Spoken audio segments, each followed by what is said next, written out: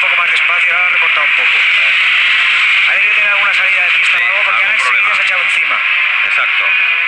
Sete sigue quinto, Alex séptimo, Carlos Checa es ahora segundo. Sí, es que este ha rodado 38-4 en Sí, la vuelta sí, sí, anterior, sí, sí. Carlos. Por eso ha perdido ahí. Cardoso sigue decimo séptimo. Y ha perdido una posición José David De Gea. Se ha retirado, ha entrado en boxes. De Gea también, ¿eh? Y De Gea ahora, después de perder esa posición que les decíamos anteriormente, Ha destrozado el neumático trasero. Una cosa muy rara, porque llevaba solo cinco vueltas. una pena.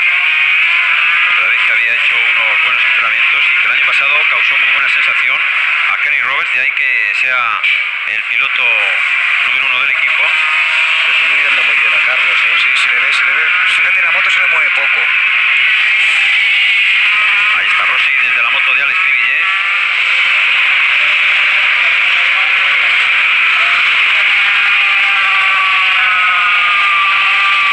Roberts tercero, pero a una discreta diferencia. Está, está todo bastante, bastante, Bastante apretadito. bastante apretado, sí. Vamos a ver ahora Carlos Checa que tiene que recuperar el tiempo perdido. Ahora se han juntado un poco los de detrás. Sí, sí, porque el ritmo que lleva Capirosi no es el mismo que llevaba Carlos. Es un ritmo más lento.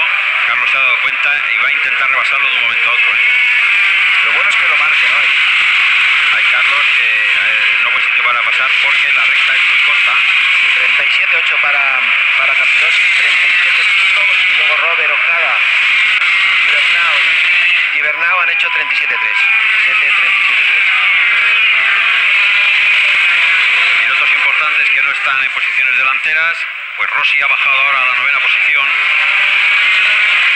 Después de que Alex Cribillé reba- rebasara a Nori Cabe. Alex Cribillé que ha pasado sexto por línea de meta. Sí, se han quedado dos grupos, ¿eh? Eh, veíamos también esa decimoséptima posición de Cardoso. Vamos a ver si puede el piloto sevillano entrar en los puntos. Valentín, perdóname. Sí, adelante. Estoy aquí con Mick Duhan. Eh, Mick, first of all, how are you? How was your leg? Yeah, I'm not doing too bad. Uh, one, one or two more months, everything should be okay.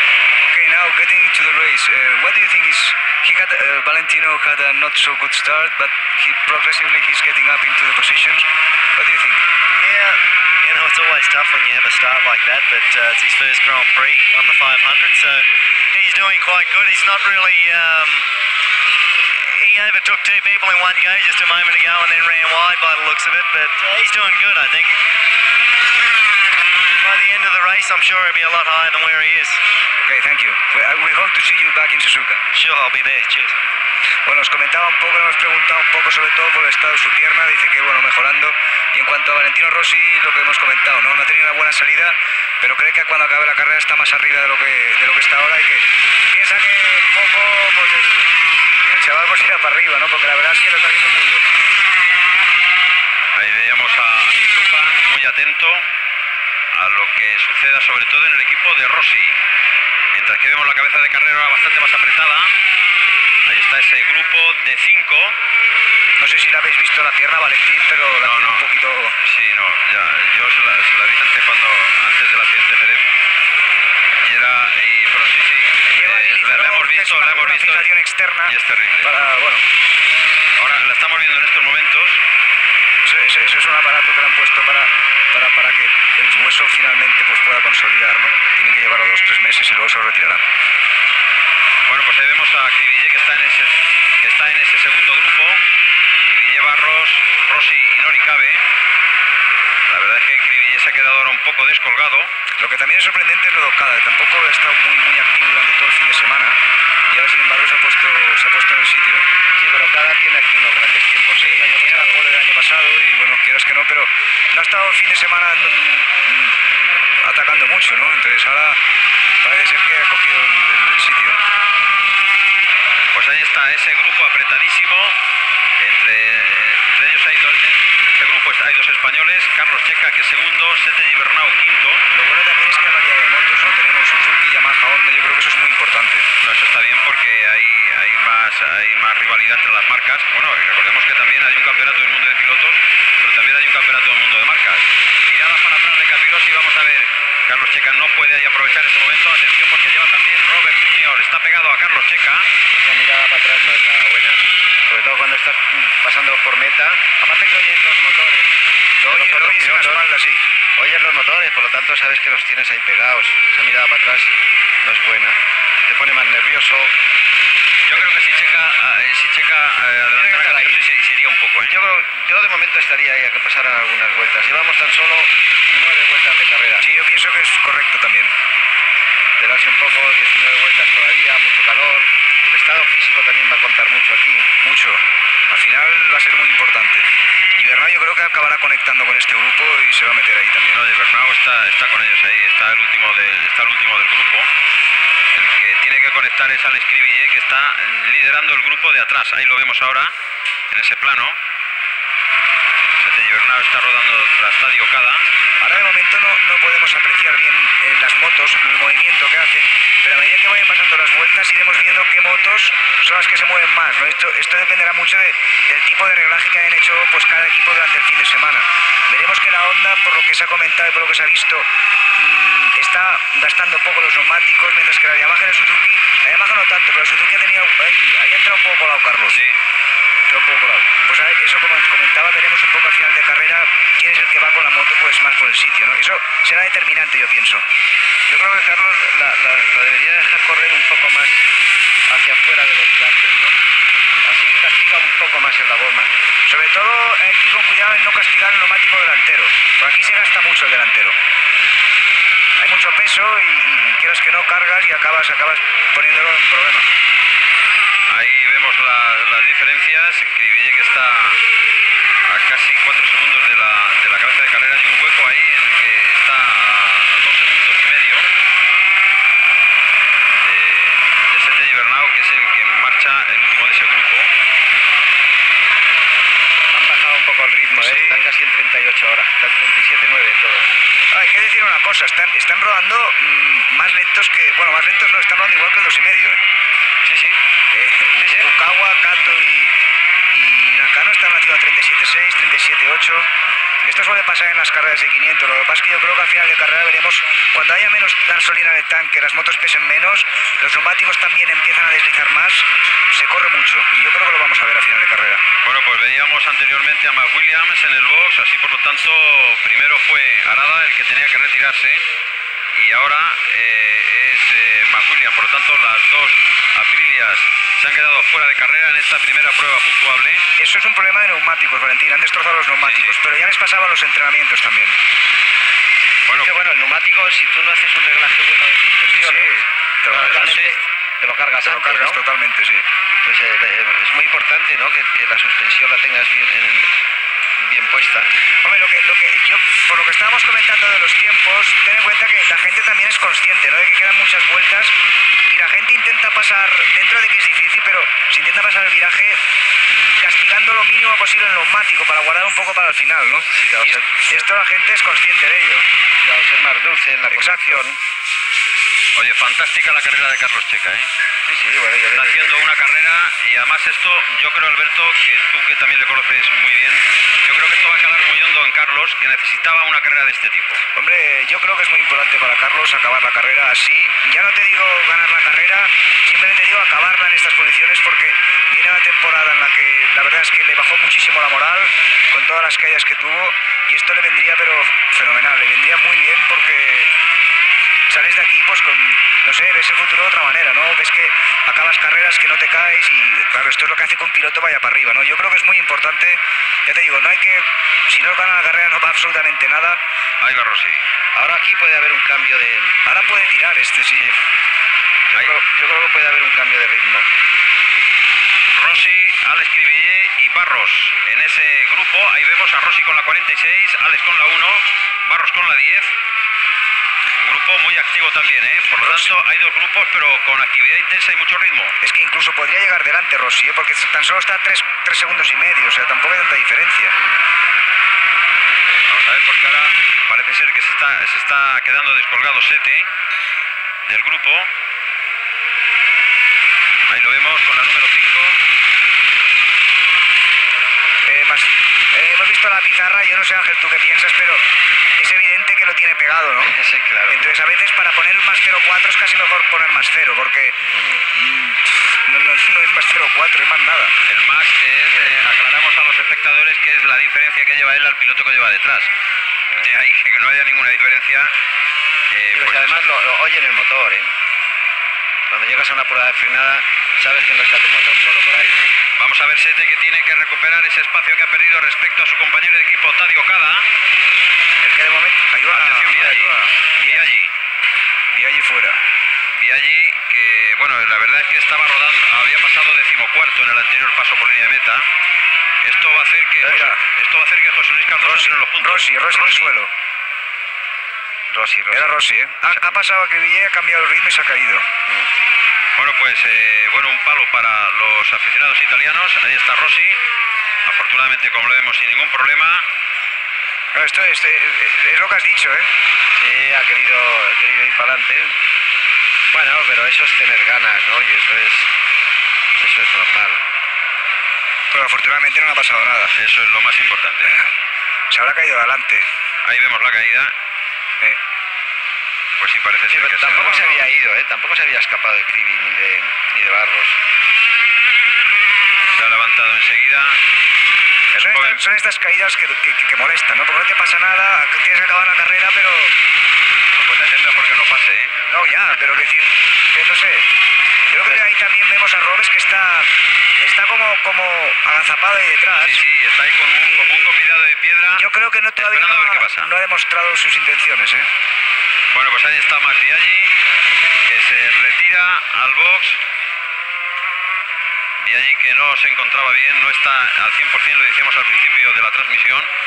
Y más Biaggi que había salido en la tercera línea de parrilla. A ver si, si puede conectar.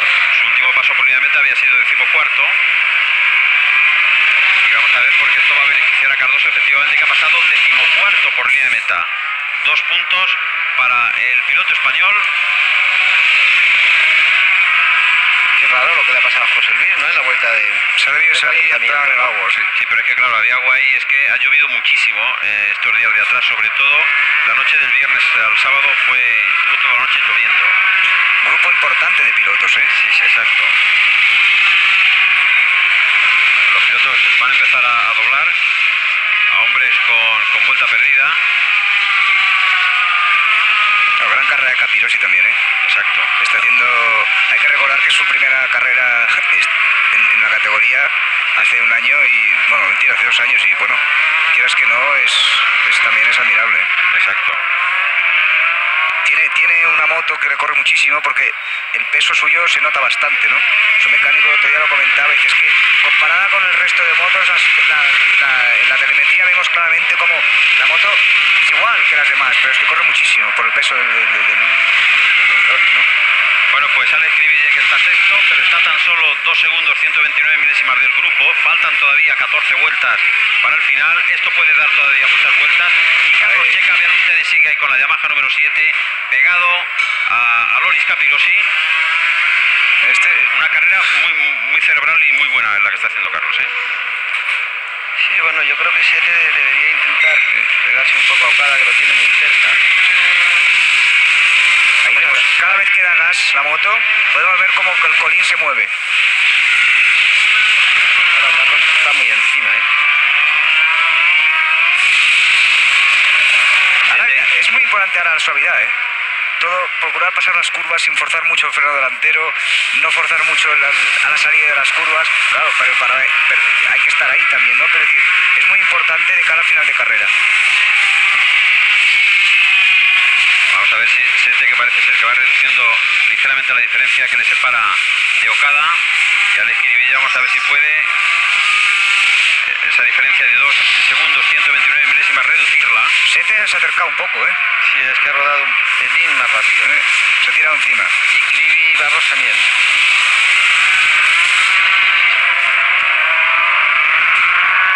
Cardoso ha pasado decimocuarto también. Y vean ustedes lo agrupados que van, sobre todo los cuatro, Capirosi, Checa, Robert y Okada. Alex Cribille sigue manteniendo esa diferencia. Pero Sete está ahora ya más cerca de Okada, ahora sí se ve claramente. Aquí también se ve claramente que entre estos pilotos hay un- yo pienso que todos tienen una forma física muy buena, muy parecida. Una vez se está descolgando. Eso también es importante, ¿no? Demuestra un poco el, el nivel de, de preparación que hace la gente durante la pretemporada y durante el invierno. Aquí si te cansas, mm, ya no- o sea, si, est- si estuvieras cansado ya no estarías aquí, estarías más atrás. No, además, sí, porque este circuito, eh, Es lo, hemos dicho más de una vez, no hay descanso, ¿eh? Es todo el rato, izquierda, derecha, izquierda, derecha. McCoy está rodando en 37-0, ¿eh? La cabeza de carrera ahora roda en 37, en 38-1. McCoy está octavo, está dos puestos más atrás que Alex Cribillé. Está rodando con Alex en ese grupo donde está Barros también. Van a llegar, ¿eh? Cribillé y... Cribillé, Barros y McCoy. Gea ha salido nuevamente a la pista, aunque está con una vuelta perdida. Está ese quinteto que cierra Sete Gibernau. Faltan ahora 13 para el final. Yo creo que si el ritmo fuera más rápido, que debería de serlo, eh, se estiraría el grupo. Porque 38 no es un ritmo, no sé qué pensáis, pero Eh, Están haciendo ritmo de la dos y medio, por ¿eh? eso es un ritmo de dos y medio. A la que alguien decida tirar, el grupo se va a volver a estirar seguro. Y como referencia, digamos que el récord del circuito lo tiene Sete Gibernau el año pasado en 1.36.5.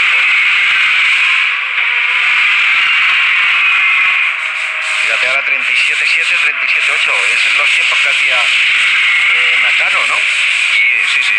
Y Alex más cerca de 7 ahora, ¿eh? Alex está tan solo un segundo, 882 milésimas de 7 y lo vemos. Ah, y cuando, cuando lo vea se va, se va a ir animando. No, no, la verdad es que se, se, se está animando. Y ahí lo vemos en ese plano como, aparte del cronómetro, como visualmente podemos apreciar que Alex Cribillé está más cerca ahora de Sete Gibernau, que es el piloto que cierra el grupo. Sí, también se está más encima de Okada, ¿eh? Ahora han dejado ahí unos huecos. Bueno, pues está claro que la carrera va ganando en emoción. Según se van sucediendo las vueltas, vamos a ver si el grupo que lidera Alex Cribillé puede llegar a contactar con este quinteto. Lo vemos que está muy cerca. Atención a McCoy, que ha rebasado a Alex. Es que McCoy viene Está, está, ¿eh? está, está viniendo muy fuerte Macoy desde abajo. ¿eh? Rapidísimo. Atención a, a Gary McCoy, Oh, sí, sí. bueno, 37-1. eh, con una Yamaha de las buenas, ¿eh? Esto va a hacer que, que se unan. Y con eh, McCoy está Cribillé y Alex Barros. Un poco más atrás están Abe y Suaoki. Pero de momento sería muy bueno que estos tres pilotos lleguen allí, sobre todo por ver que Alex Cribillé está progresando y puede salir de aquí con un buen bagaje de puntos. Hombre, Alex en cuanto vea que se acerca, ya te digo yo que le cambia, le cambia el tema, ¿eh? Seguro. Cambia el chip. Seguro, yo creo que sí. O sea, sí, porque es un piloto muy combativo que a la que ve que está recuperando es seguro, vamos. Creo que sería bueno también, ¿no? Que, poco a poco fuera tirando para arriba y se fuera acercando al grupo. Es que McCoy es el que le va a hacer algo. Le va, le va- lo va a Exacto, llevar, le ¿eh? está, le está llevando. Gary está ahora tan solo un segundo, una décima de... Bueno, ya está prácticamente ahí, ¿eh? Pasa que estar encima de McCoy un poco peligroso, ¿eh? Sí. Es eso. eso. Un poco peligroso. Tiene mucho peligro, sí, la verdad es que sí. Bueno, pues vean ustedes, el grupo ya prácticamente unido, el grupo total, es decir, los ocho pilotos, Capirosi, Checa, Roberts, Okada, Sete Gibernau, McCoy, Cribillé y Alex Barros. Eso se está yendo, ¿eh? Ahora Los pequeño y checas hueco. están abriendo, ¿Eh? están abriendo un huequecito, ¿eh? y Checa que parece ser que tiene muy bien controlado a Loris Capirosi, ¿eh? Hay que mirar, yo creo importante mirar las motos, la- cómo se mueven, cómo, cómo la están conduciendo. Eso, eso es una muestra significativa de, de- de qué es lo que siente el piloto encima, ¿no? Pues estamos a menos de 11. Vamos a entrar en breve ya en el último tercio de esta apasionante carrera de 500 que está liderando el italiano Loris Capirosi, pero que lleva a Carlos Checa pegado tras él. Ahí está Roberts, Okada, Sete Gibernau, vean ustedes ya pegado a su compañero de equipo, Dani Okada. Ahora yo creo que van a empezar a atacar, ¿eh? Vamos a ver que Sete se tiene algo guardado. Lo que pasa es que están dejando que se vayan bastante, che, Capirosi y Checa. Mira. Atención a Checa. A Checa que ha pasado ya la primera posición. Ahí hemos visto abriendo cómo se le movía. Uf, Checa como... Bueno, pero qué empuje ha pegado ahí, ¿eh? Vaya un cambio de ritmo, un cambio de ritmo extraordinario. No, aparte, aparte hay un tema que es muy importante. Carlos, a medida que se va gastando el neumático, si es capaz. Mira, mira, Oh, Macoy, mira Macoy. Por ahí. Uf, estaba a punto de entrar, ¿eh? Está a punto de llevarse a, A a punto de para sí. adelante.